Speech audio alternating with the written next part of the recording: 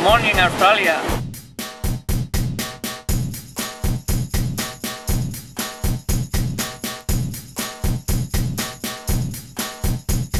And tell me, how was how was your summer in Australia? Oh, good season. Only holiday, not raining. Uh, every day beach and good eat. A good time.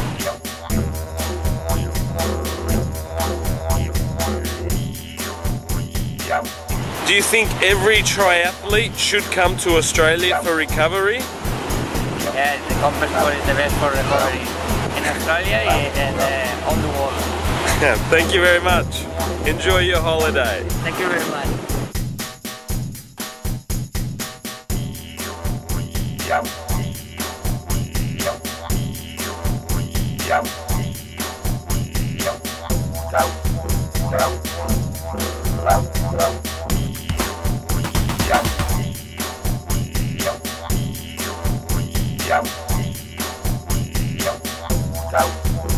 Marcel, stay with triathlon.